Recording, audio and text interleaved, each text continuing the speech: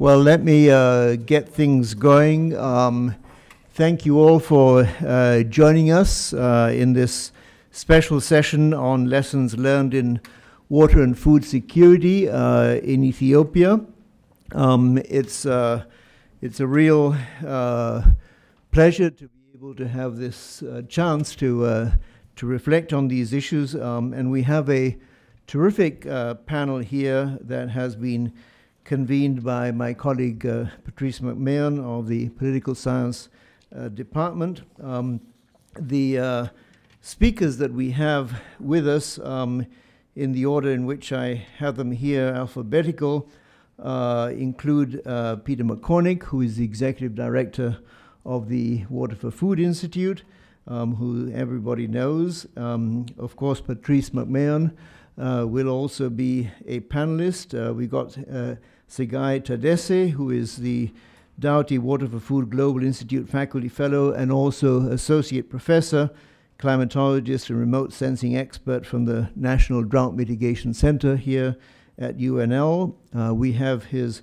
colleague uh, Nicole Wall, who is a research specialist also at the National Drought Mitigation Center, um, and Timothy Williams, last but not least, who's the director for Africa of the International Water Management Institute based in Accra in Ghana. Um, so it is a terrific uh, panel um, with very different perspectives on this issue of, uh, of learning from uh, the lessons in water and food security in, uh, in Ethiopia.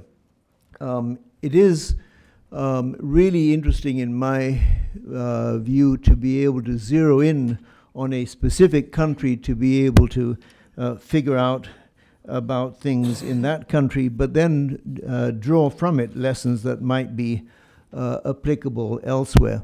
Um, now, I have a confession to make, uh, which is that unlike any of the panelists, um, and probably unlike most people in this room, I've never been to Ethiopia. Um, I've been to many, many countries, but Ethiopia is the big, big gap in my background. Um, so I hope to learn a lot from the panelists um, and from other discussants here uh, about a country that I know very little about, um, other than having, I think, uh, gone through the airport uh, in Addis uh, many years ago. But um, I do think it is really important to be able to step back, zero in, as I was saying, uh, about in one particular country, and to figure out what it is that governments have done towards water and food security, what role have the external actors played, um, how successful have these efforts been, and to be able to do it with some sense of perspective. So I'm really looking forward to what I'm sure will be a very, very uh, good discussion.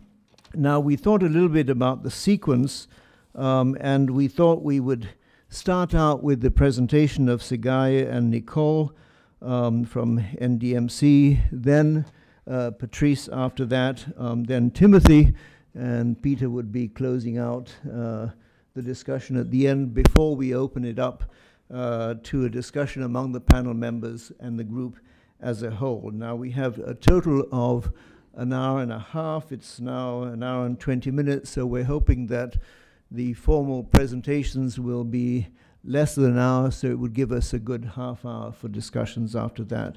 Um, with that said, then let me ask, uh, let me invite Tsegaye and uh, Nicole to, uh, to come forward. Thank you. Uh, thank you, Roberto. Uh, good afternoon. By the way, Roberto, if, uh, I'm originally from Ethiopia, and so you are most welcome and to visit Ethiopia so that you can learn more by looking firsthand than secondhand that we are telling you. But we'll start it. Uh, so uh,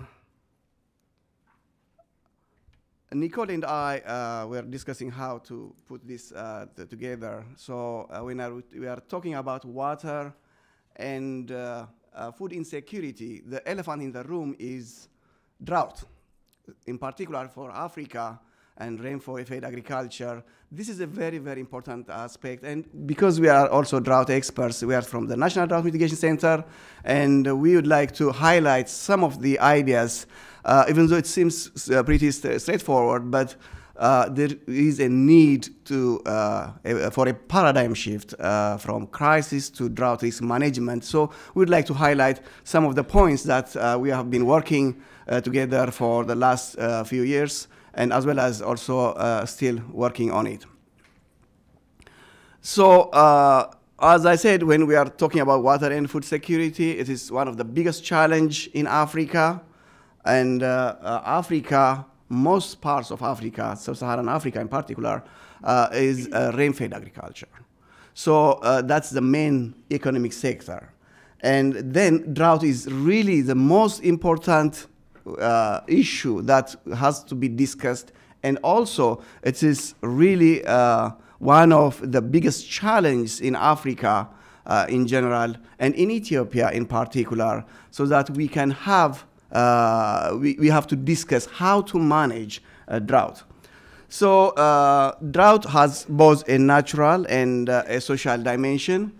Uh, one is the region exposure or the frequency of drought that we are uh, witnessing or observing in the last few decades it's so much frequent and even more so in the last uh, uh, 10 years. And so the social dimension is the other aspect that we have to be really concerned and also uh, uh, consider when we are talking about drought risk management. So it is a complex phenomena, and it should have uh, should be seen from multi-dimensional angle. It's multidiscipline and multi-institute input is very important uh, to address the drought issue. So uh, drought, uh, as I mentioned, it is the most damaging disaster in Africa, and Ethiopia is usually associated with that uh, uh, disaster, drought, and the name sometimes is really referred with drought. And so as Ethiopian, even though it's so painful, but that's the fact. Uh, so uh, we have to address this uh, also with the context of water and uh, food security. Uh, these are the uh, observed historical records that we have. And you can see here Ethiopia in, many, in the last 30, 40, 50 years, frequent drought happened and hundreds of thousands of people died.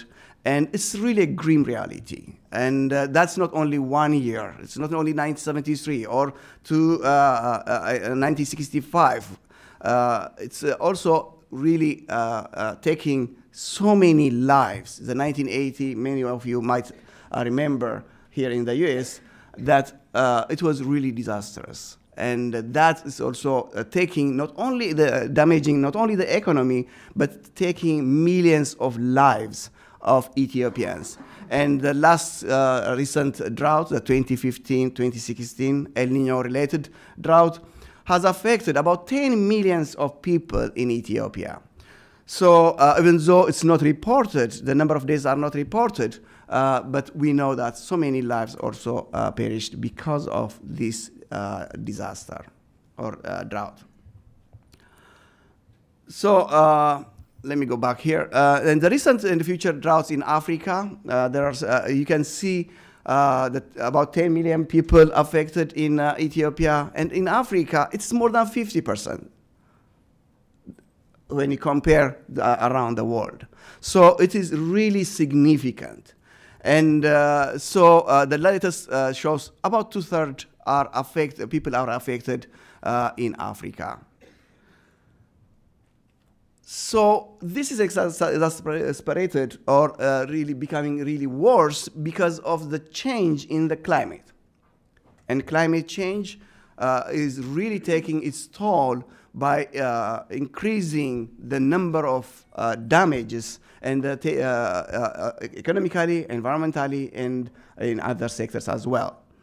So we, the models show that these global models and the projections show there is an increase in extreme uh, precipitation. Like storms, floods, droughts are expected to increase significantly.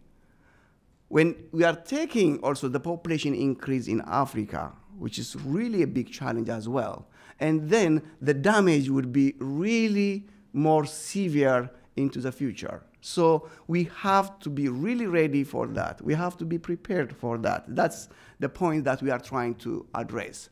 What is happening now is whenever drought happens, then we start to address that issue, to save lives, and to address, uh, uh, to give uh, aids to the people. And that's what's happening, whether it's at a local level, international level, international institutes, and the generally the, the, uh, the world are really doing their best to help when the crisis is happening.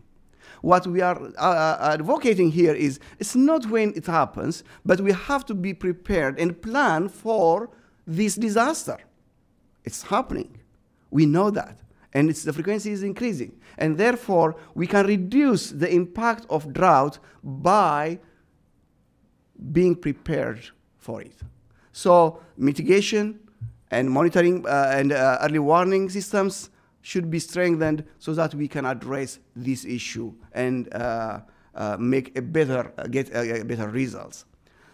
So in order to do this, there is an initiative, uh, a big initiative uh, in Africa that uh, the National Drought Mitigation Center and I myself, uh, representing the University of Nebraska and Mitig National Drought Mitigation Center, uh, led an expert, exp uh, international experts who were also, um, who came from the FAO, WMO, and the UNCCD, the UN agencies and African local experts and regional institutes so that we can map out the strategy, taking the lessons that have been done in other parts of the world, uh, Europe, the US, and, uh, the, and also uh, Asia, so that we can map out a strategy to have a document that we can help reduce the impact of drought.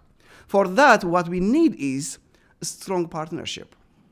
That should start from the local and also from country to countries in Africa, and also the UN agencies and other uh, countries that could help uh, in this effort.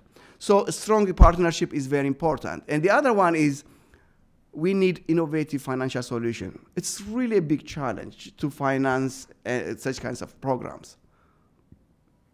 So that uh, needs, there should be an innovative financial solution for this. It should start from the countries themselves and also being helped by international agencies as well as uh, other countries who would be willing to help out. And the very important thing here, uh, uh, we uh, as experts emphasized, is the leadership. When we say leadership, Africans should find a solution for their own problems. That is sustainable than a simple three years or four years projects that we can do and then wrap it up. So the African leadership should be really stronger and the political will should be there. And perhaps uh, Patrice would uh, uh, highlight some of the challenges that we have in uh, Ethiopia. So with that, if you do that, then we can build a drought-resilient Africa. That's our vision. So uh, I don't go uh, details on this one, but the rationale for justification to build this strategic framework uh, for Africa in general is one, the frequency of drought is increasing that we have to address, and if uh, we address it, it can be averted by proactive drought risk management. And the other one is there are so many uh, countries drought prone in Africa, including Ethiopia.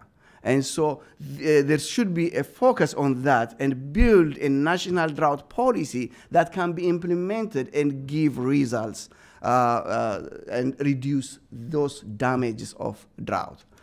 And so the uh, other thing is most of this uh, disaster pre preventions in many African countries are just disaster, which includes everything, earthquake, flood, and everything. So there should be a focused prevention system and thresholds, action, uh, actionable informations uh, that could be collected and be available for the decision makers so that we need to focus on one more specifically, as we know, drought is one of the biggest challenges in Africa. So it should be a focused action that should be uh, addressed in Africa and Ethiopia as one of the examples. So we need to build this strategic framework for drought. uh, risk management and enhance the resilience of uh, Africa to drought and sharpen the focus on, by sharpening the focus on drought. Uh, the, this, uh, uh, okay, let me say a little bit about the, what we are suge suggesting to be implemented and we need African countries. That should be the center, and African Union also should help out with in a, uh, collaboration with the UN agencies and the African regional institutes. That's the kind of strategic framework that we are planning to, uh, we are suggesting or recommending to be implemented under the auspices of the African Union. And this DRAPA, or Drought Resilient and Prepared Africa strategic framework, as an umbrella organization, can coordinate countries like Ethiopia to build the national drought policies and find a systematic way to address drought before it happened. And then be ready, and when drought happens, and then execute what they have to do so that that would help out the countries and save millions of lives. And for that, actually, here, uh, I don't know if you can show this. Oh, okay, the red uh, ones are the three drought pillars that the National Drought Mitigation Center, uh, Professor Don Wilhite, uh, Mark Svoboda, Mike Hayes, Cody Knutson, and other uh, NDMC colleagues have been really advocating and recommending to be included in the uh, drought risk uh, management framework. And we have added also uh, policies and governance of drought risk management, drought um, uh, awareness and knowledge, which is very important that we have to be included, and also reducing underlying facts uh, of drought risk management. And these are the elements and which also consider gender sensitive and inclusive implementation strategy. So that is what has been uh, recommended. And uh, so I just skip this one, which because I have explained what DRAPA is. And uh, there was an African uh, ministerial uh, meeting that had been uh, conducted last August in Windhoek, Namibia. And so the African ministers uh, this uh, uh, Windhoek Declaration of Enhancing Resilience to Drought in Africa. They have adopted that. And also this framework was uh, also been adopted by the African ministers. And so it's going to be published sometime in June this year. And so the idea is, okay, we have these old things. Then what? It should be implemented. We should find the way to implement this. And so um, Ethiopia in particular, uh, if I just go uh, a little bit about the Ethiopian uh, uh drought management uh, development through years, say for example in 1973 there was an ad hoc uh, response because of the severe drought and that through, through the emperor at that time and then the military government come up with a coup because of that. And so th at that time there was no drought um, uh, uh, preparedness or any uh, me mechanism or organization that could address the drought issue. but in 1995, uh, there, uh, the, the Disaster Prevention and Preparedness Commission was established. Then the Disaster Preparedness and Preparedness uh, Agency, later in 2004, was also enhancing some of the way that they are addressing instead of just simply crisis, and they wanted also to uh, include the food security sector. And even with those kinds of development, still most of most of the actions are just emergency response. So uh, whenever drought comes, then everybody will just start to do something else, even if there is a, a policy. And implementation is another biggest uh, problems that we can also discuss uh, in the question and answer session. And so the, uh, but in 2009, actually, the National Policy and Strategy to, uh, on Disaster Risk Management was established, which is a very good step towards to uh, prevention and uh, preparedness. And at least in theory or on the documents and the policy, that is a good move in the positive direction. But implementation, how about implementation? How efficient is the implementation of these policies is still open to question. and how local voices are heard.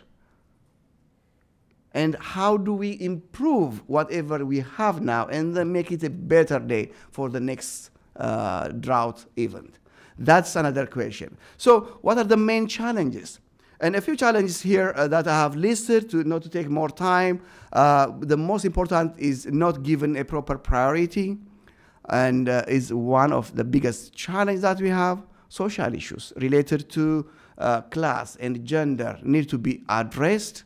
And the role of women, even though there are some positive things that we see in Africa, is should be really encouraged, and it's limited now. And so the other really big issue because of drought is migration. And you can see that from Somalia to Ethiopia, from Ethiopia to Sudan, and so on and so forth to the neighboring countries for uh, looking for water. And you can see that really painful uh, problems in Africa. So the only way that we can improve this is by moving or changing the paradigm from crisis management to drought risk management so that we can be prepared. And uh, of course, there is a lack of financial resources, true. But we can start with what we have. That's what uh, the uh, Africans, uh, African countries should do, uh, think. Ethiopia can start with what Ethiopia has and then the international community can contribute. That's the way that could be sustainable. Otherwise, it, a, one-time help doesn't really help forever. So that is uh, very important. And in addition to that, is as I mentioned, climate change is uh, increasing uh, the frequency and uh, severity of drought, and that's the projection, and it can make it worse. So we have to be prepared for those kinds of things as well. And so uh, in the implementation, uh, the most important thing is political will and leadership of the African countries themselves. It should start from African countries themselves. Ethiopia should, uh, with all this experience, should start with uh, its own resources. And initial investment should be done by uh, those uh, countries themselves uh, collaborative environment should be really encouraged, and uh, the international society uh, community are helping. But the international community should help not at the uh, when the crisis comes, and when we see on CNN uh, millions of people are dying. It should be done be earlier, a little bit earlier. And so engagement and supportive citizens are very important and uh, so that uh, Nicole will uh, discuss a little bit more and engaging research community and then identifying the best techniques to improve drought risk management is also very important. And so uh, uh, I got uh, a note to finish quickly. so I will move to, I'll let Nicole tell you how we can engage the local people and how we can hear the local voices that can make it better. Thank you. Thank you, Tsegaye, and thank you, Patrice, for inviting me to this panel. Um, I'm just going to give a quick case example of a project that I've been working with um, Tsegaye and many others on. Uh, it's our NASA, I don't know what happened to the slides. Uh, there we go. Uh, it's our NASA um, Great Horn of Africa project. Um, I'm a public participation specialist. It's one of my many um, hats that I wear at the center. Um, so um, in my work uh, at the National Drought Mitigation Center, before we go into any kind of stakeholder engagement, we look at what level of the public impact spectrum that we want to reach in our projects. And so um, with the NASA GHA um, project, with Tsegaye and others and all the many stakeholders that I've been blessed to meet um, over the past few years. We're hoping that through our collaborative um, efforts that um, they will be empowered to, um, um, what do I want to say, instill our tools, to use our tools in order to make better climate and drought decisions. I'll skip over that slide. I had a slide in there about our various things at the center that we do in engagement. You can go to our website to learn more. Um, we'll just jump straight into the project as um, since we just have a few minutes. Um, you know, this project was started with Tsegaye and many collaborators. Um, I think Guy is in the room and uh, and Dwalam is somewhere. Um, we have I don't know how many um, collaborators on the project, 15, 20? Seven institutes and 12 co-investigators. Yeah, 12 co-investigators and seven institutes involved. Um, It really is a participatory research project that uses a collaborative approach um, to research that bridges the gap between the scientific knowledge um, and the experience. um, I can't read that, sorry. We'll just skip, um, the, the slide is really light. Um, The outcomes of the project was um, to integrate these public participation and stakeholder engagement methods um, with a variety of different stakeholders and representatives. Um, We've had webinars, workshops, surveys, interviews, and um, other opportunities to collaborate throughout the years. And our next um, workshop will be this summer in possibly Kenya or Ethiopia. Um, This is just a diagram showing you the, the methodology um, in terms of climate information. Um, First of all, in the first wheel, you can see is the generation of climate information, um, reaching out and working with the national agencies and regional agencies in um, the Great Horn of Africa.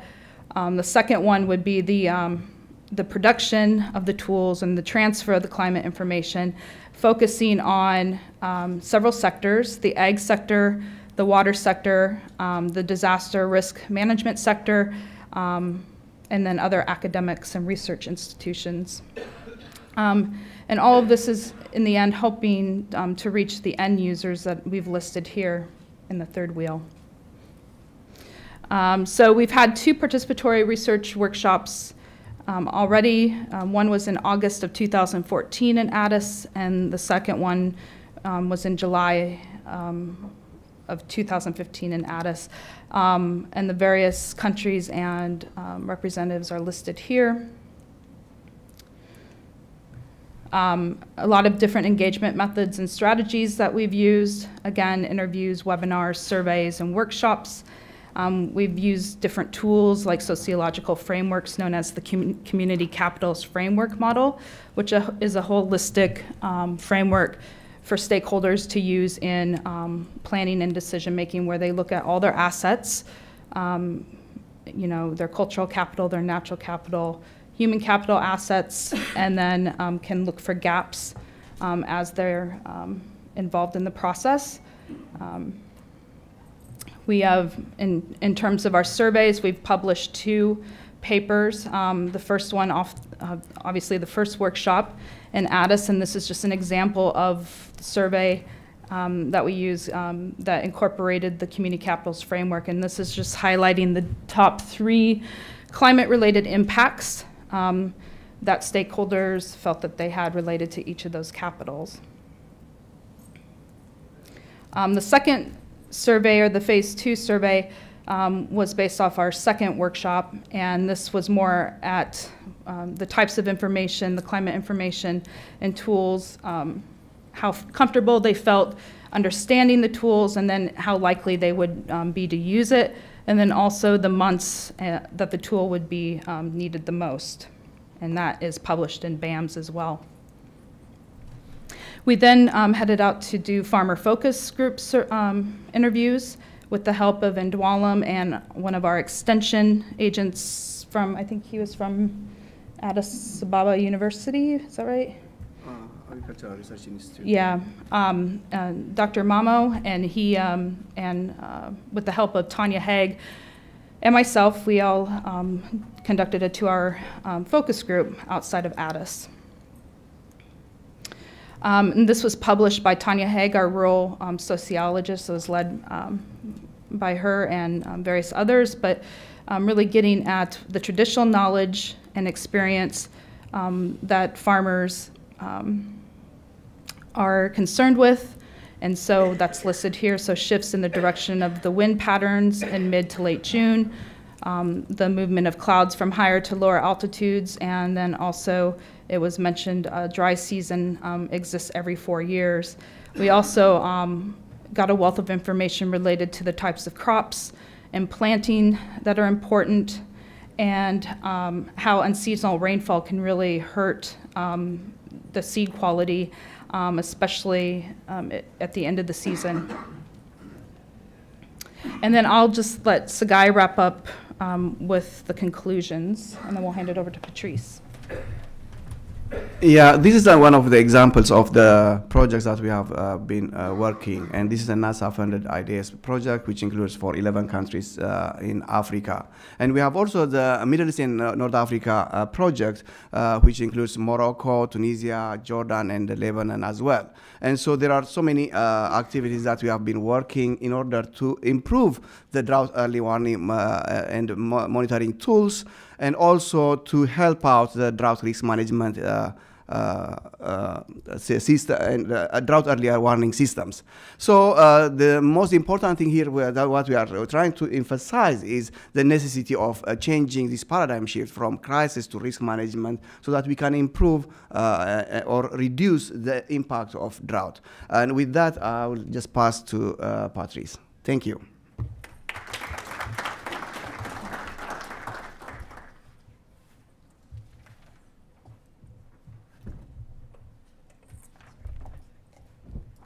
Thank you very much. Let's see.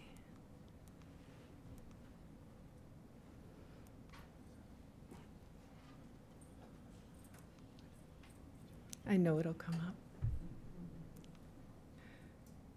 As we're working on my PowerPoint, let me just say thank you uh, for that great presentation. It was really inspiring and refreshing. And unfortunately, what I have to say is not. it's um, a little bit on the pessimistic side, and as a political scientist, that's sometimes what I do. I don't mean to do that, but I think the rest of the panel will kind of balance things out a little bit and tell us all the ways in which all the challenges I talk about can be reconciled. And I think before the uh, panel today, we decided they were going to be the good cops, I'm the bad cop, and then the mayors are going to come in and tell us what we can do differently. Okay, here we are. So again, my name is Patrice McMahon, and I'm in the political science department.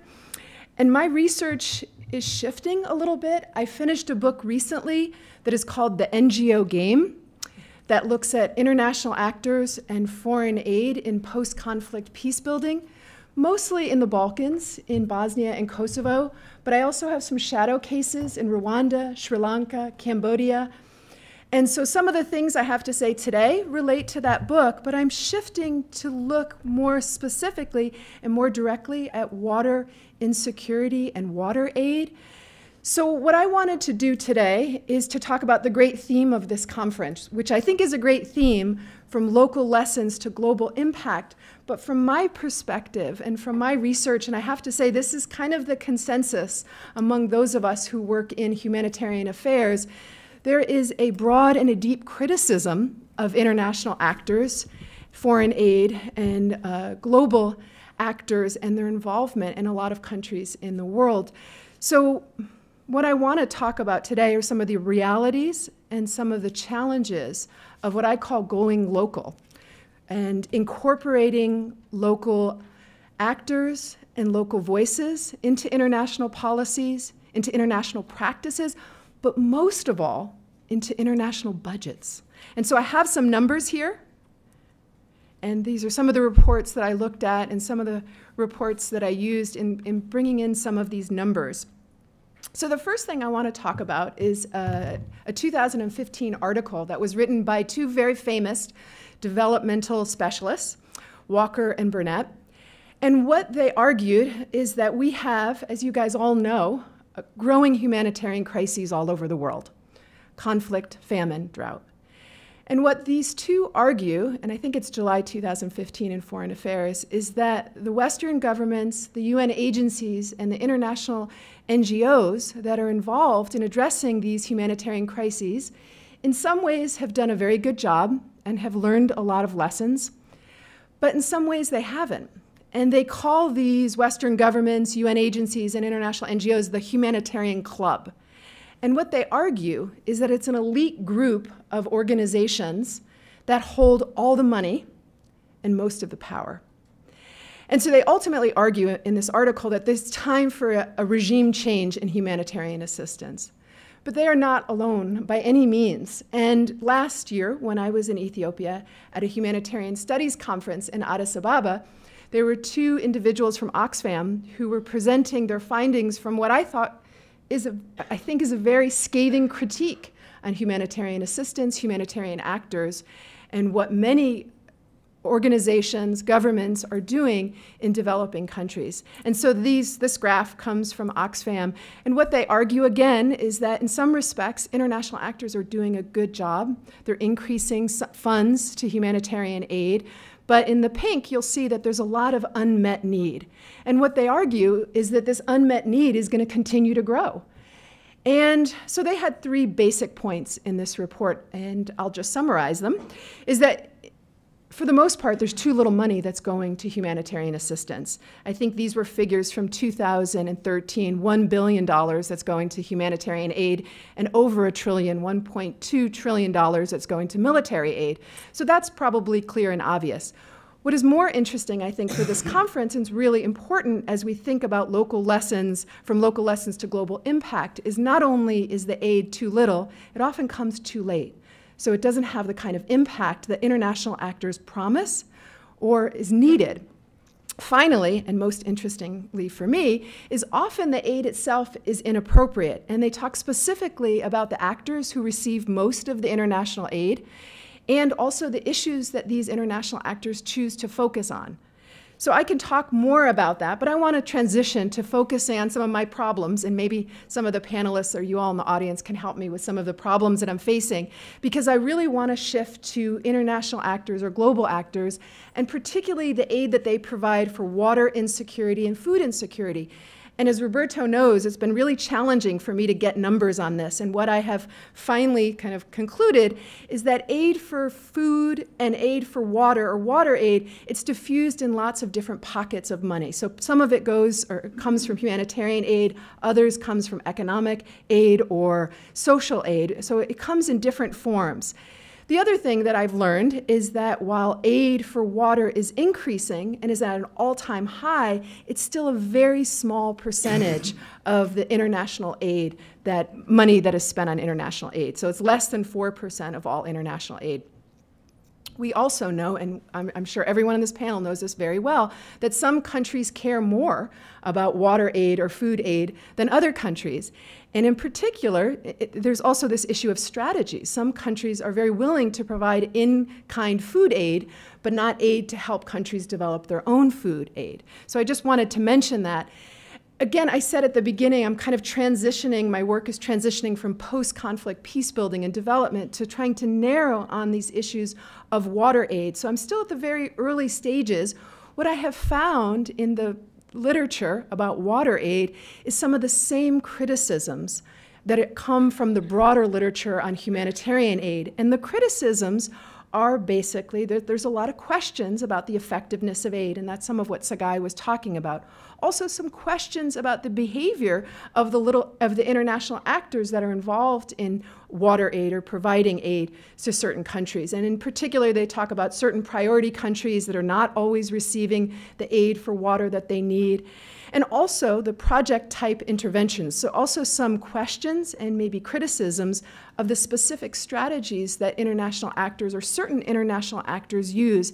And I, and I profiled this on project type interventions that water aid um, has indicated are problematic, yet 85% of wash aid, water for water and sanitation aid, is going in the form of project type interventions. And I highlight that because when I was in Ethiopia last year doing interviews, when I talked to people, that came up a lot. Like, we need money for this, but in fact, this is what international actors like to fund. And as I think a gentleman from World Vision said, it's not really sexy to try to raise money to fix pumps. It's sexier to say we're building things instead of that we're, we're providing maintenance to sustain the things that we've built.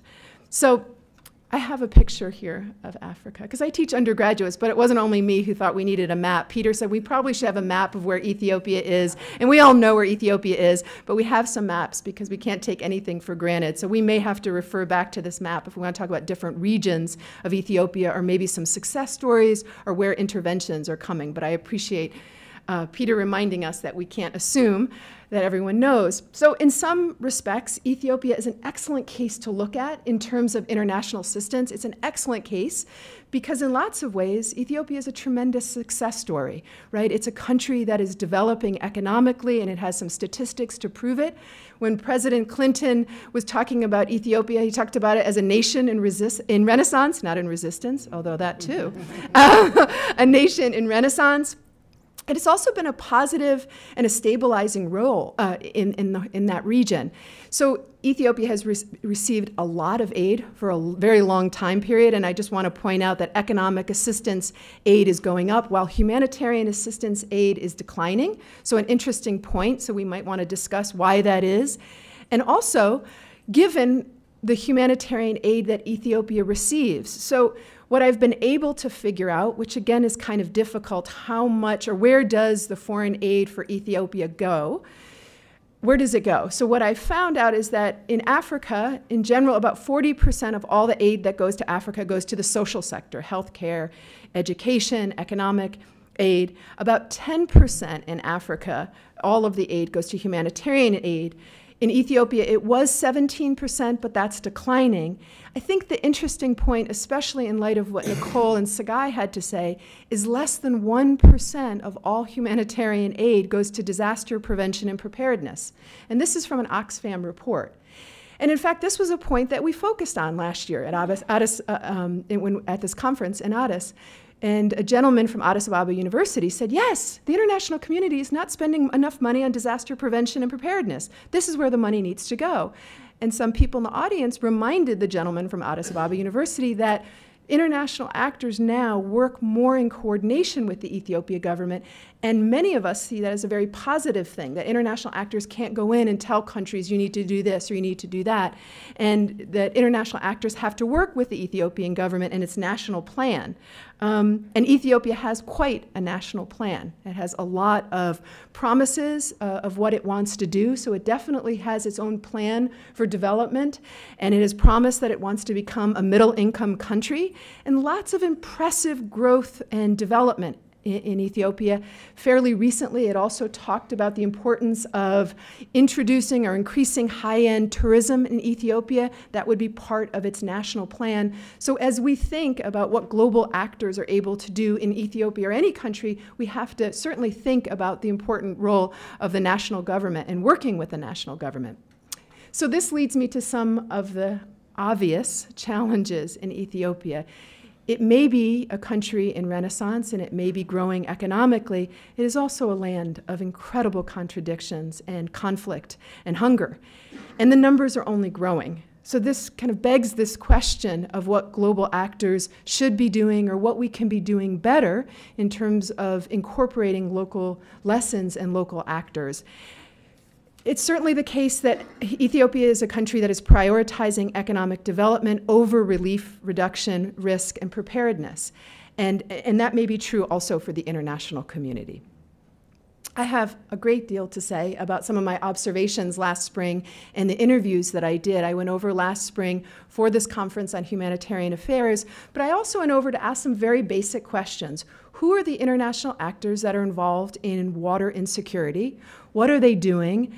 Um, what do you have to say about some of their strategies and some of their impact? And there are a lot of positive impact. And I will say that it goes well beyond the amount of money that international actors give. It was very heartwarming for me to hear Ethiopians say what's really nice about having international actors involved is it forces the Ethiopian government to get locals involved. And it forces the Ethiopian government to, to, to bring together groups that it might not have brought together.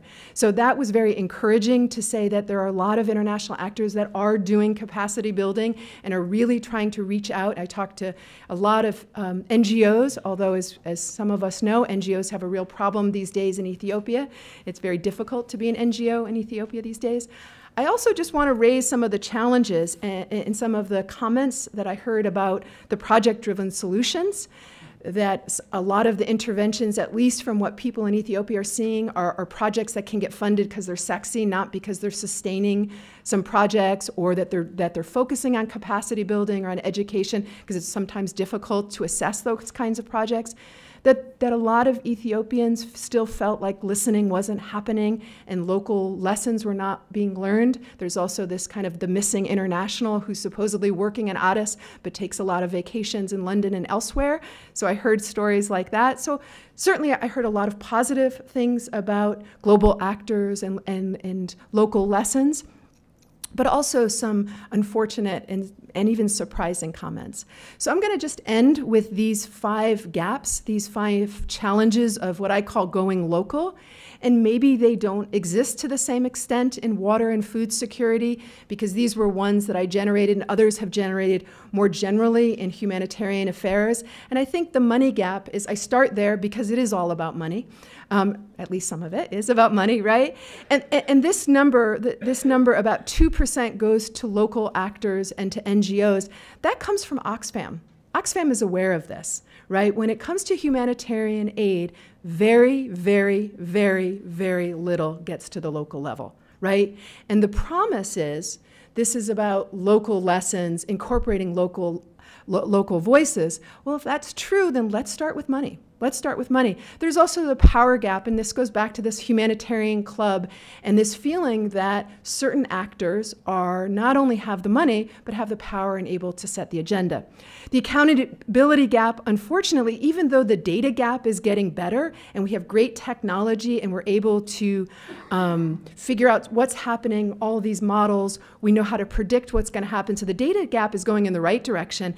But unfortunately, even though people recognize some of these problems, the accountability gap is still increasing. And these are, are, quotes from other people about growing more disconnected and more decentralized as the promises for local lessons and local actors and partnership increase. I mean, that's a term that in the Balkans, when I would bring up partnership, people would almost laugh and say, oh, yeah, we know all about partnership and cooperation. Okay, um, I'll waste your money and you can waste my time. That's the NGO game. So the motivation gap to me is still a question mark I, because I do not believe that Western governments or international agencies or international NGOs don't want to change this. I think they fundamentally want to do good things. But there is this question of how we get past talking about local lessons and local voices and partnership to actually going local. Just a quote um, from the World Humanitarian Summit. And this is not this is not unusual. This is, we've been talking about the need to reform, the need to change, the need to shift things around for years, if not decades. And, and there's lots of numbers, even if we can dispute kind of some of these numbers or how are we defining things, there's still this feeling, at least when you go to the local level, and again, whether it's in Bosnia or Kosovo or Cambodia or in Ethiopia, you still get this sense on the ground um, that people are not being listened to, that the money is not trickling down, and that they really don't feel empowered in, in, lots of ways. So I hope that I'm wrong in, in some of the conclusions and the challenges I've laid out. So thank you very much.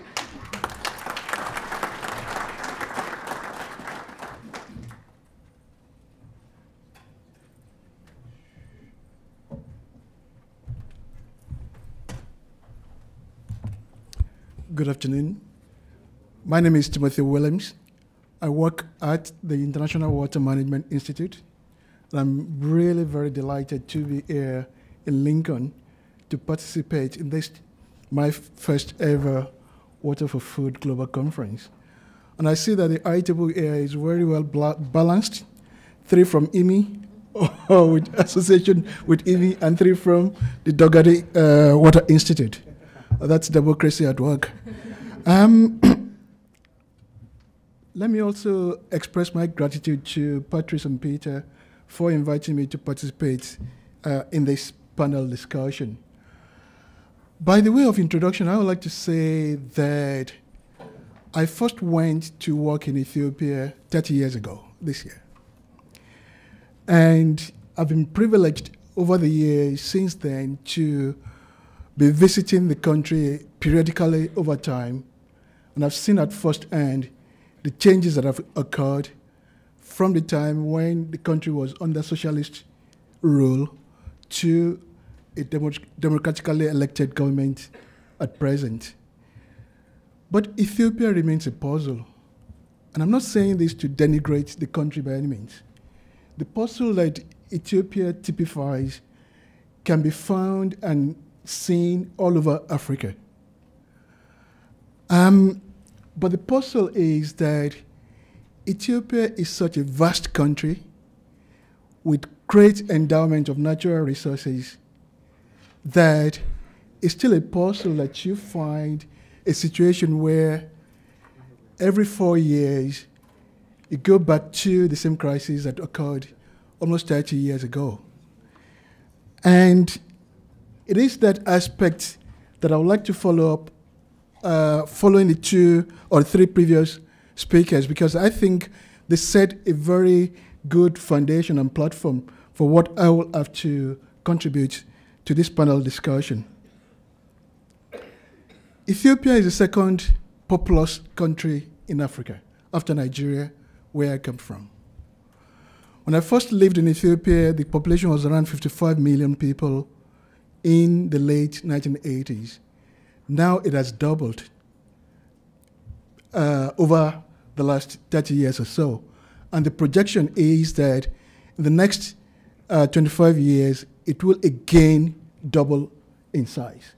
And that shows the enormity of the issues at stake in terms of the boom and bust uh, picture that emerges from Ethiopia all the time. And the work of the Nobel laureate Amartya Sen indicated quite clearly that famine is not primarily caused by environmental disasters or natural calamities like uh, drought or flood or things like that. Famine is largely man made and it's the failure of institutions and social uh, settings in any particular country. And the picture painted by uh, Patrice clearly indicated that. The amount of aid going to Ethiopia is probably unparalleled in any other country in Africa. Ethiopia has made tremendous progress in terms of economic growth. And as she showed, Ethiopia for nearly a decade experienced a 10% average annual growth rate of GDP over the uh, 1990s up to the beginning of uh, until mid 2000. But that growth in economic performance has not translated into what can call inclusive rural development. Ethiopia is a country where the large majority of farmers are smallholder farmers cultivating less than one hectare of, uh, of farmland. And they form the bulk of the production system in Ethiopia. And I would like to argue that the first issue in terms of why Ethiopia remains a puzzle is the urban bias in economic planning and development in that country. When one looks at the development of the major towns and cities in Ethiopia, they have really grown in size.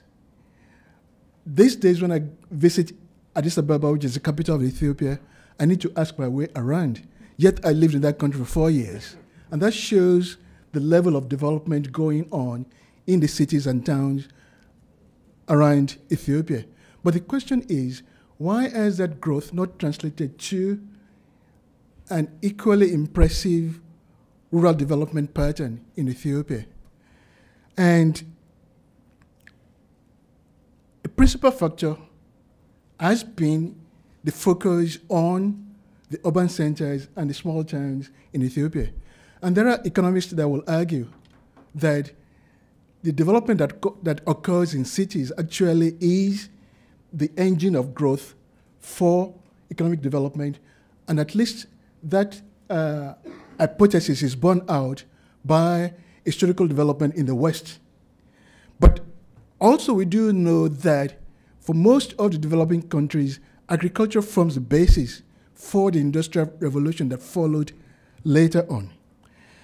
And Patrice, I, I believe, has clearly showed part of the problems with aid in Ethiopia. Um, the specific project intervention type of aid that is given that is focusing on certain very convenient and comfortable projects that can be easily handled and quickly reported and then moved on to the next project in the sequence. But I'd like to argue also that when one looks at a few cases of uh, projects and aid funding that has worked, they have in common a few common properties and features that I believe will constitute the key to ensuring that uh, the next set of uh, programs in Ethiopia and indeed in Africa uh, prove to be successful. I would like to look specifically at some um, local level food security and water security projects in Ethiopia. Across the whole country, right, whether one is talking about the north, the west, or the southern part, projects that have really, from the onset, looked beyond the technical solutions to looking at how the social fabric and the institutions needed to make those projects work do to fare better than those that solely focus on the technical aspects. Uh, Patrice talked about the wash, the water and sanitation projects. To a large extent, despite all the shortcomings pointed out, they've proved to be the most successful in Ethiopia. And why is that? Because they address the key fundamental need of every human being to get access to clean water for domestic use as well as for other purposes. So, WASH projects resonate with people who like access to water and they see that as an opportunity to be able to live a healthy and much more productive life. So the first key element is to ensure that projects really do address the heartfelt needs of people that they are meant to, to serve. Um, again, most of the projects will focus on the provision of pumps and other equipment needed to make the technical solutions work. But that is just a part of the problem. And actually is the easiest part because we know the science, the technology is there to make these things work. What we don't know, and what policymakers in Ethiopia as well as other African countries lack, is a proper appreciation of the institutions and the social elements related to making technologies work. And in most cases, most of the technocrats in the ministry are biophysical scientists. They are engineers, and their training and background is how to make machines work. And not necessarily looking at the painstaking processes and steps needed to be able to get the necessary buy in from local people to be able to make things work. In, um, in Ethiopia, my institute has been working on promoting small scale irrigation and better water management activities. And we've seen an explosion in the use of uh, pumps for irrigation, uh, fuel pumps, diesel or petrol, as well as electricity pumps, and more recently, solar pumps. They are practically almost everywhere. And with cheap Chinese imports, they're not as expensive as they used to be a few years ago. But in expanding the use of pumps, we've also noticed a parallel problem being created that tends to allow individual farm owners operating pumps to overexploit the water resources, either surface water or groundwater.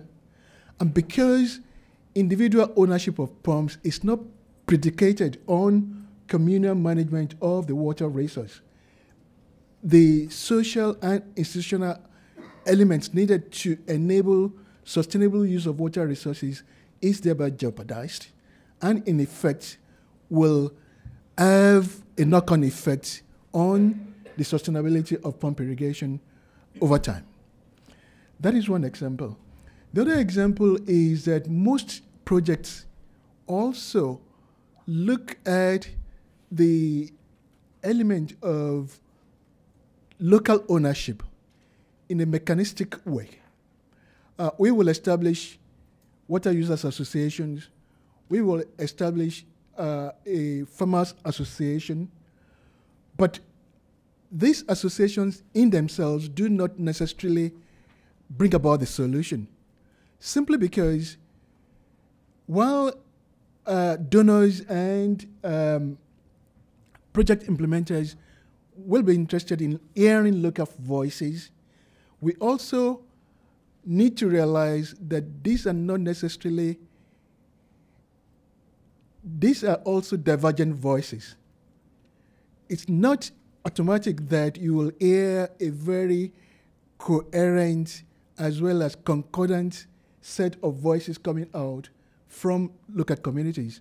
And that implies that the, the, the investment needed to empower the process of dialogue, of reaching consensus, is equally needed in order to be able to make aid work in local settings. So the investment needed in ensuring the technologies out there will also demand that investment is made in the soft infrastructure, which is bringing together the consensus and the elements for the people to be able to act in, a, in an organized manner and coordinated manner to be able to uh, provide the necessary input to make uh, aid work. Finally, the point about looking just beyond the immediate locality of where the aid is going, but looking beyond that at the watershed level, at the basin level, is the key to ensuring that the long-term sustainability is ensured so that while uh, one community is making progress, they are not doing so at the expense of the other community downstream that will also need to benefit from the same resource. And I believe that projects that have really taken time to incorporate these elements have proved to be much more successful than those who operate on a short-term basis and because of looking at both the technical as well as the social and institutional aspects demand a long-term framework. Most projects that uh, are being funded these days have a lifespan of three years, and the essence is that you can only scratch the surface without going really deep into making those projects work over time. Finally, the point about having an exit strategy right from the beginning is also very important. Most projects are operated on the basis of a phased uh, project cycle. So we finish the first phase, we move on to the next phase, and we move on to the next phase, but not necessarily in the sense that an exit strategy that will empower the local community to be able to take ownership and be able to run this project on their own steam is put in place. And without that exit strategy, we tend to repeat the same process. We invest, we build, it gets degraded, go back again to build, and we need to stop that cycle. And that cycle uh, is found all over Ethiopia, and not only in Ethiopia, but also across Africa. Uh, these are the few lessons I wanted to, I wanted to share with you on uh, some of the issues concerning this uh, panel discussion. Thank you very much.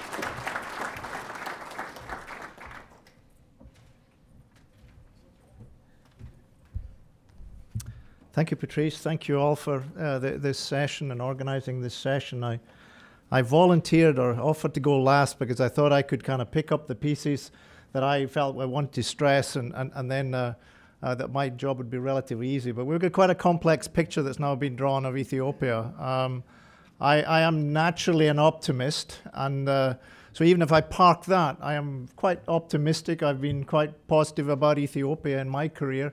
And, and uh, I, I, think my big worry in, in, in, that region is certainly the geopolitical environment, because I think one of the things that we hear about the, the, the, the politics and the dynamics around these droughts the intensity of these droughts, and certainly the ones we know about going on in, say, the Yemen and South Sudan and so forth, it's the geopolitics that drives them into the, the sort of deep trough that we then have problems bringing it back out of. And that was the case in the 1984 drought, 80 droughts in, in, in Ethiopia. Uh, that said, I think there's challenges. I, I, I, I, maybe I'll talk a little bit about why I feel more optimistic, and I'll go back. I actually, I'm not quite as old a Ethiopian hand, certainly not as Tsegaye, and certainly not as, as Tim. But I actually walked into Ethiopia in 1993. I walked from the across the Tekeze River. One of the reasons I wanted the map up was not to suggest you didn't know quite where Ethiopia was, but some of the geography about Ethiopia, because I was working in Eritrea for four years and working on the borders between Eritrea and Ethiopia. It was very, it was a, a fantastic time to be there. There was a lot of positive energy in that part of the world, and, and the renaissance of Africa, that was the term that was being used at the time. And uh, it was certainly a time when I learned I didn't spend a lot of time in Ethiopia. I spent more time north of the border in Benjamin's home country in, in, in Eritrea. Uh, but learnt a lot about the, the sort of issues and, and, the challenges, the geography. And what we have in Ethiopia, and Tim got at this, is this a large, relatively large population. We have, a, it's a very mountainous and beautiful country at one, on one level, and then you're down into deep deserts, and some of them meters below sea level. So it, there's a fantastic range of geog uh, geography and a lot of diversity in, in, in, the cultures, in the, in the opportunities, and the resources. I think one of the challenges, and I, one of the things I liken it to the Ethiopia is the, the Colorado of, of, of, the Horn of Africa, because all the water that lands in Colorado, all the water that lands in, in Ethiopia flows out of that into somewhere else. They've got all these, but in Ethiopia, the challenge is they don't have snow it lands and within two months it all runs off and then there's no more precipitation. There's precipitation in certain parts of the country but not in others. So it is a huge issue with this water that we have all this water in Ethiopia but it does run off and you can capture some of it, you can't capture others of it and the lack of infrastructure investment that's occurred in the country over the years has, has been a, a huge issue. Um, I actually went back in 2002. Doug Merrey is here, the former Asia, Africa director for the International Water Management Institute. A number of us, when I first joined, I was actually in USAID at the time, but a number of us got together to work on how we could establish IWMI's presence in, in, in, uh, in uh, Ethiopia. And I remember we organized a workshop soon thereafter to look at the soil water issues and finding local partners, getting local partners to come and meet and be at that, that session was actually quite difficult. We found a few key people the rare social scientists, many biophysical scientists, but well, a few working in the universities. There were some new universities emerging at the time. Um, but it was, it was a, a, a, quite a heavy lift getting that going. Doug spent a lot of time establishing that office there. There's other people that, that established that office. I, I've been back subsequently a number of times, usually three or four times a year, and what was really surprising towards, say, about two, 2009, 2010, the number of young, very highly qualified Ethiopian scientists that were, were in the country, were working regionally, were in the United States. A lot of people really uh, uh, involved in this subject. Again, I would stress that I think it was more biophysical scientists uh, rather than social scientists. It's actually created a bit of a challenge in Africa because it used to be in Africa when you went to recruit Africans, all the South Africans applied and you, you couldn't get any, any other countries to apply. Now, a, a colleague of ours working in UNECA, the United Nations in Addis, he complains that when he has an advertisement, 50% of the applica- applicants are Ethiopian.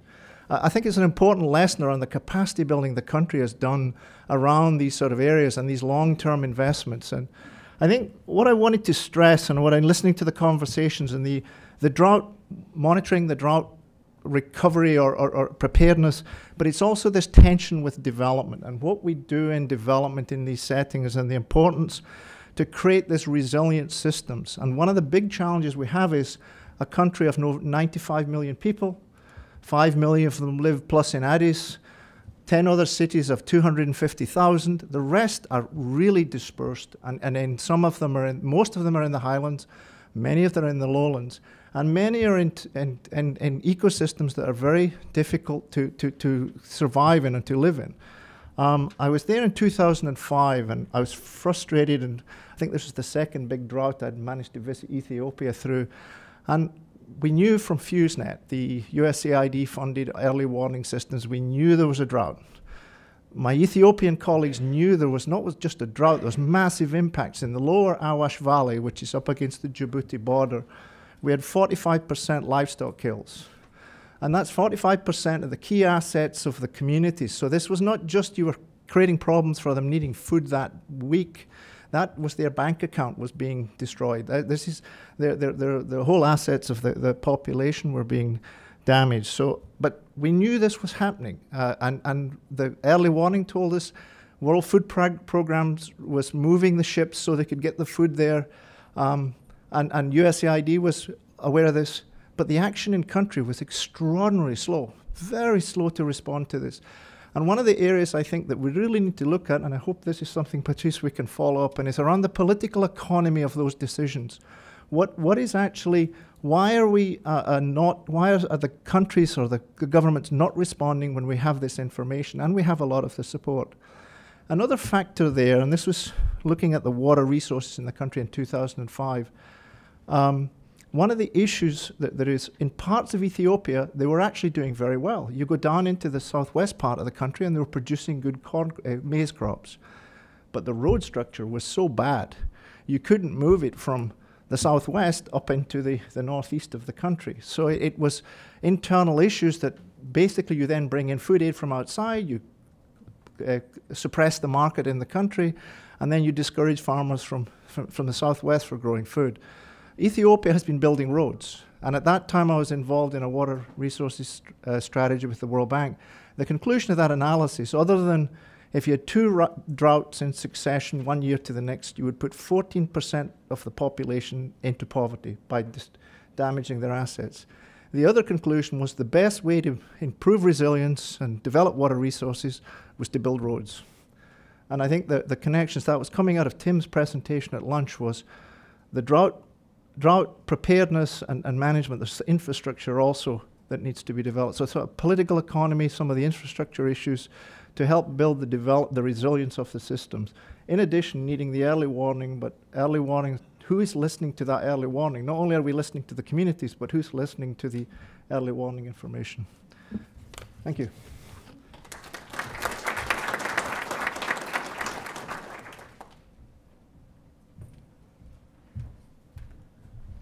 Well, thank you very much, uh, Peter, um, and thanks uh, very much to all uh, the panelists. Um, I said it at the introduction that we have a had a very diverse panel, um, and we certainly had a great diversity in perspectives. Um, and I think it's been uh, really good to have that diversity of perspectives because we have a very complex situation in Ethiopia, and everyone illuminated uh, one or another aspect. Um, I had hoped that there would be some time for the panel to discuss among themselves, but if you'll permit me, I think we'll just open it up for general uh, discussion uh, given the, the time. There is a coffee break starting at 3.30, so we're going to start losing some people after that. Um, and uh, But so why don't I just open it straight out um, and uh, take questions from the floor and somebody has kindly volunteered with a uh, with a mic. Thank you. Thanks, Nicole. Uh, thank you. Thank you very much. A very interesting and diverse set of presentations. I think I'm I'm on the optimist side as well.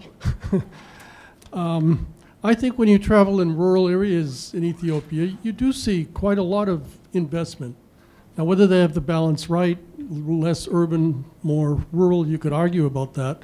But I don't think we should think the country has not invested because you do see quite a lot of um, new structure, new irrigation schemes, roads, public health centers, schools. Kids are in school. Um, there is considerable progress in terms of malnutrition and so on.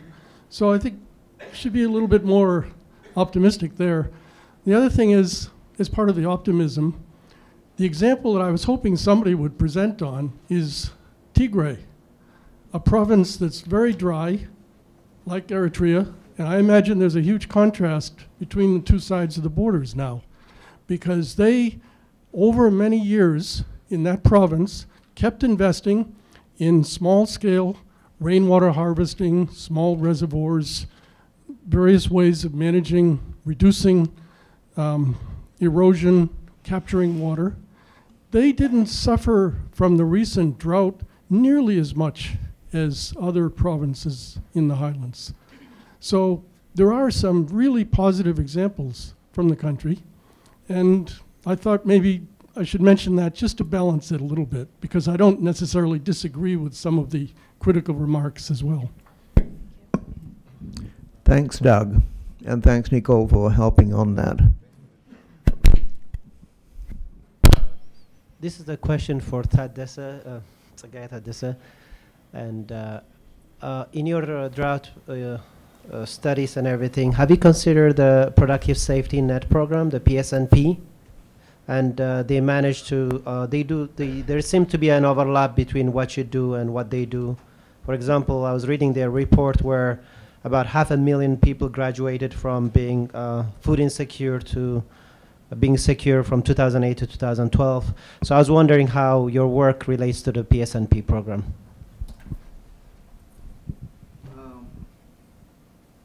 It's on. Uh, no, the PSP is not included in our uh, study, unfortunately. Uh, but that's something that we can uh, include, and that is, uh, and uh, if you see my presentation, it's more of in very general at the country level, but when you go down and lo- the local level, and that is very important for each country. And so that's what we are trying to advocate: is each country is different. Say Ethiopia and Kenya is different, and so when you are trying to design a strategic framework for Africa you take the higher level uh, uh, points and which are very important for that structure and then those individual like ethiopia has psp and uh, some of the very good lessons that we have learned for example the tigray you guys can include all those uh, lessons learned and also the challenge that we have in each area and even within ethiopia and the north actually there have uh, some political also uh, support. That's another thing that could help them. And but we see good things there. And that yes that's good. But also uh, uh, the, how about the south and southeast and other drought prone areas? And by the way when we are talking ethiopia and some people who are, have never been in ethiopia think a very dry country with a couple of uh, trees. No that's not the case. So um, the drought prone areas the northern rift valley the south uh, southeastern part and the eastern part of uh, the mountain range are the drought-prone areas. In the, as Peter was mentioning, the southwest is really very, very green and all, uh, I mean, rain all year. So that's something that I just want also to highlight. Thank you. Thank you. I just wanted to respond to that comment and, and to reinforce your point. One of, this came up several times, internationals talking about their projects and saying that they had to coordinate with the government, particularly in that region because it was so needy and they wanted to make sure that they sustained projects in certain places. So I heard that, that, that internationals couldn't come in and just decide where they wanted to do whatever they wanted to do in terms of projects, that it was based on need, that government decided where the needs were and where international actors would be having their projects. So I heard that about that particular region. My question actually is really, uh, related to your response. Um, you all talked about uh, local communities uh, helping define those critical needs when it comes to handling issues caused by drought or you know drought itself, um, as opposed potentially to provincial governments or the national government. Um, what are the how important are the dynamics between those groups, between the local community and then those other levels of governance and the impact um, in handling issues that we're talking about in Ethiopia? Uh, that's a very good question, and uh, we are we are trying to emphasize the importance of engaging the local people. That doesn't mean that uh, it is uh, the government is not important. It is, and so it should be top down and also from the bottom up, both ways. And usually, what's happening is from top down. That's it. And so that should change. And we, should listen the local people, their need, so that it can be more efficient. That's the point that we are trying to emphasize. I think that's a very good question. And as Tadesse pointed out, the political system is such that it doesn't really allow the kind of grassroots uh, participation that one will expect to see uh, in the situation that uh, Ethiopia finds itself. But that said, over the years, there has been a tremendous change in the level of participation, but there's still room for improvement in, time, in terms of getting the grassroots uh, direct participation in determining uh, what they will want to see in their local community. Yeah, I, just kind of building on that, I, I think, again, it's tough to generalize in Ethiopia because there's such a diversity of arrangements and, and so forth. But from the state down to the subnational, uh, the, the sub-state level, and then to the local villages, one of the issues I've seen uh, that is, is of course that as, as you, the, we may be interested in the water for food part, we're trying to work on something there, but it, when it, that gets down to the village level, it's how the how the state works down to that level and ensures they're coordinating health and food and all these parts. So the institutional arrangements, many of these villages are quite remote and they, uh, if they're getting only one element of that, so really working with the state actors and the communities together to ensure that we we, we bring this the sort of uh, focus on services, the different parts of the services through the government channel, because often out in these these remote villages, the idea of a private sector it's a, they're, they're, they're just not there. There's not much uh, the, the connect again connections to the markets. They, they are quite weak. So it, it, it is really the, the the government, but it is the local government and the local communities. And there is a, a, a structure in Ethiopia. Again, it varies where you are in, in, in the country, but uh, certainly that's working. I, I have seen examples. This is more on the development side where the tendency, and this uh, it's it's where well-meaning organizations look to create new institutional structures through research projects or other projects. And those become a burden. How is going to sustain those over time? So, really working with the institutional arrangements in the country is really, you can have a difference of opinion with the organization, but it's, it's very important to work with the, to strengthen the existing institutions rather than creating new institutions. And I, I can cite a few examples there, but I won't, I won't do that in this context.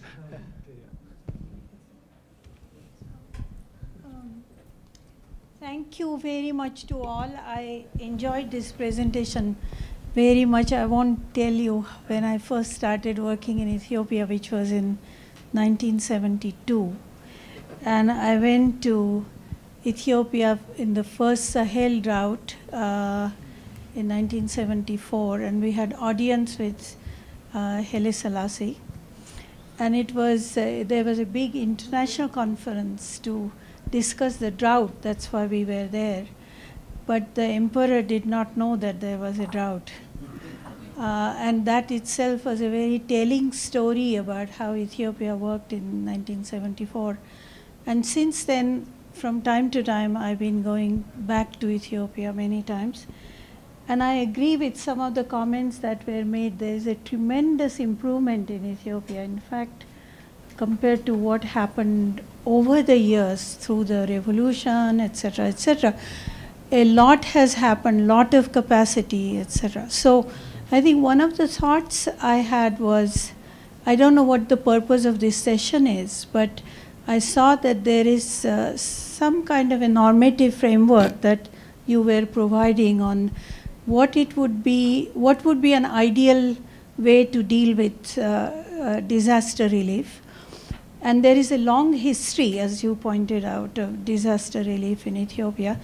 And reading uh, the reports in the most recent droughts, my sense is that Ethiopia handled it better than it did before, although not, not as good as, uh, uh, as well as it should. And now it has a range of different tools that it is using. It has a, one of the most impressive public works programs, which is funded by WFP and other donors. Uh, IFPRI is doing some very good work collaboratively with an institution which is doing public policy research and they publish regularly stuff on Ethiopia. And I think one question then is can you do a case study of Ethiopia of changes over time in the government's response to drought situation. And the range of uh, instruments and tools that it has developed and how well has it uh, used them or not used them. and do it with Ethiopians because there are a lot of Ethiopians now who have the capacity to do it. So if it is done internally with collaboration with you, it wouldn't look like University of Nebraska or somebody else is lecturing them because that's one thing that Ethiopians don't like, as we know. So, uh, but I think there is a lot of scope to improve what they are doing in a very constructive way, and I hope you take all this work forward that way. Thank you. We have time for one more? I think we do.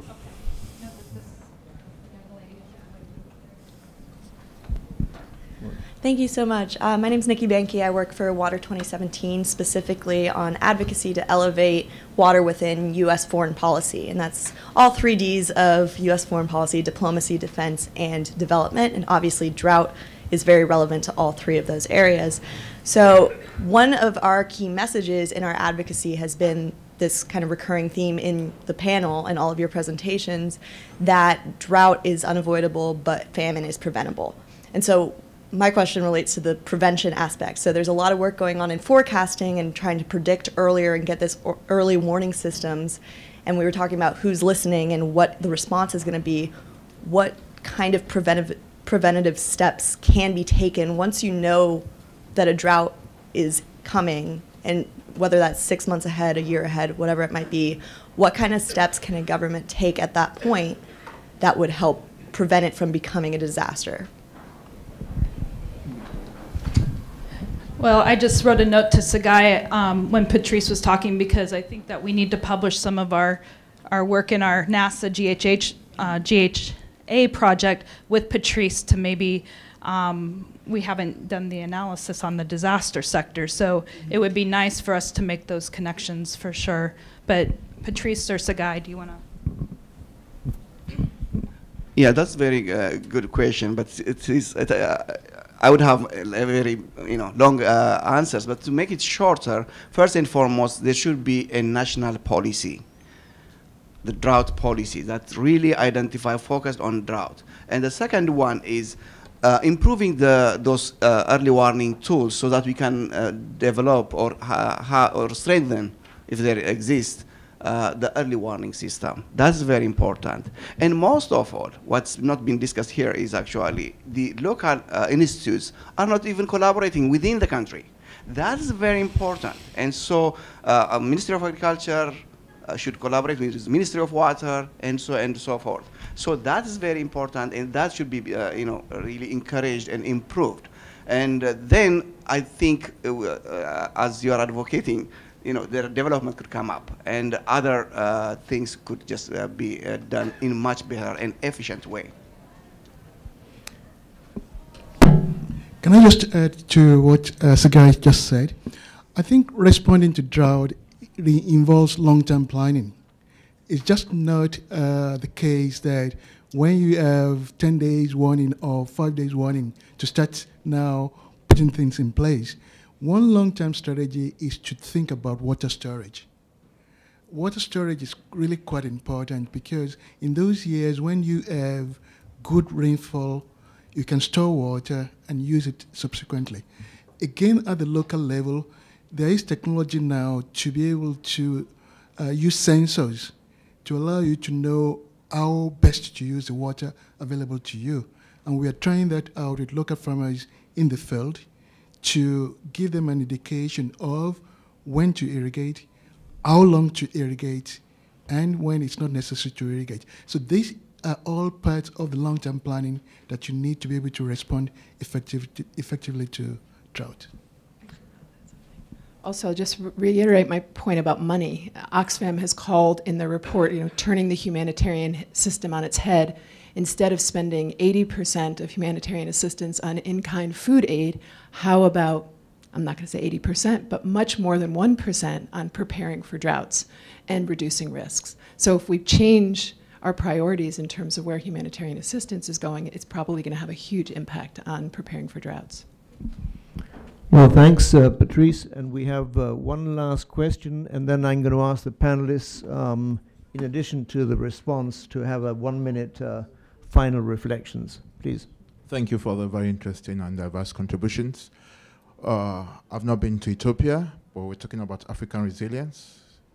Uh, one key issue that has run through all the speakers has been the lack of ownership in the process.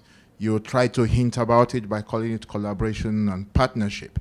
But in your framework, there's really no strategy in which you, you bring the people to have, uh, be able to direct the research issues. Uh, Patrice called it a power gap. Timothy called it a buy-in. But if you, that actually, in my opinion, is the puzzle to not just Ethiopia and Africa, why you have limited success stories. Most of the water issues, especially agricultural water issues, has to do more, uh, has to do a lot with governance issues. And in terms of governance, it has to do a lot with how much the people own it, how much the people how much the people are able to direct and give direction in terms of the research issues that come about. So my my own contribution to this is that your framework does not reflect enough to show that you are actually going beyond collaborating and partnering with the people, but that the people actually direct the way you the way the resilience programs should come and that, so that and that comes in in terms of sustainability. That addresses the key issue of uh, exit strategy as mentioned by timothy. Just a contribution on the way forward. I'm not pessimistic i'm not optimistic but i think we can take it forward. Thank you very much. Well let's then get some uh, final reflections and why don't i start with peter um, and then come downwards. Uh, max one minute i think I, I, think just reflecting on these last comments, I still I think this this in, in terms of it is the building the develop aligning the development of the humanitarian assistance and looking at this resilience question, what Tim was talking about. Uh, maybe one example in Ethiopia, in the in the lowlands, in, in uh, uh on the eastern side, they tried was around all these pastoral systems and, and one of the, the, the, ideas was that if you drilled the water wells further into the, the, the, drier parts of the country, you could then, the livestock could then access better uh, um, uh, fodder, that, although it's very sparsely spread fodder, but you could move the livestock further into the drier parts of the country. The problem when the next drought came is you now had more people on these, these systems, and then this impacted. So really having a, thinking through these, these different options they have in the different communities. And I think that, that, again, it's part of it can, the, the landscapes can only can hold so much, and, and, and uh, we have to really be careful about or work with our Ethiopian partners. I think many Ethiopians are aware of this. I think there's the governance system in Ethiopia has been to devolve responsibility to the states and lower and really work with those those partners to, to, to what are the, the options that work in those contexts to build that resilience. I think there's room for improvement in aid targeting to many African countries. Um, the issues of building resilience is not just building the resilience of the farming systems, but also building the resilience of people and communities to shock, uh, be it climatic shock or shock from other natural causes. And so the importance of being able to address issues affecting millions of people, not just the urban elites, but having an inclusive program that will allow the benefit of development to filter down to the grassroots is really quite important when one is talking about um, natural events like uh, drought and flood uh, in Africa. Thank you, Christopher. Uh, Patrice? So, I'm an optimist too, even though I sounded really pessimistic. But I wouldn't be in this business if I, if I wasn't optimistic. But the fact is, is that we do have a growing humanitarian crisis on so many different levels. In addition to food and water, let's not forget the 65 million people who are on the move, and that number continues to grow. So I feel optimistic that there's no other way that we can manage these humanitarian crises without turning the system on its head and going local. I mean, that has to happen because frankly, we can't do it, we don't know how to do it, and we won't do it. So, you know, there, I was reading through some quotes and some reports I was looking at the other day, and several people made comments like this How about unrestricted aid? I know nobody wants to just give out money because somehow we can't measure it, we can't count it, we don't know the impact. And that's what we want, maybe not for ourselves so much, but for other people and other countries. So I get why unrestricted aid people might resist to that idea, but I think we need to start thinking outside the box into more public-private partnerships and away from NGOs. And I could talk about that at a different, at a different time, but I think we have to really rethink what we're doing to do a much better job at a lot of growing problems. Thank you. I agree with all the panelists and have enjoyed the discussion today. Um, I guess one of the things I look forward to in the future with um, hopefully Patrice and Tsegaye and others is getting a project funded to expand our network of professionals, especially with women um, in Ethiopia, because that's a huge need, is that we need to help them we, um, professionally develop and um, take all their wealth of knowledge and tools um, and their local, their local um, experiences um, to make change. And so I hope that we have some funding in the future to um, really address these issues with women and children.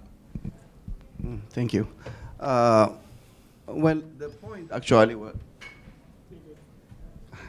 am I good? Okay, it's good. Uh, the point that we are trying to uh, address is drought is a very big issue, a big challenge, especially in Africa and in particular Ethiopia. And the way forward is to plan for it. And so, as uh, the gentleman mentioned, the strategic framework doesn't do uh, anything by itself. But it's a beginning. It can start. We, can start that, and so build a national policy and implement it from local level to the national level, and that would also impact the global uh, community.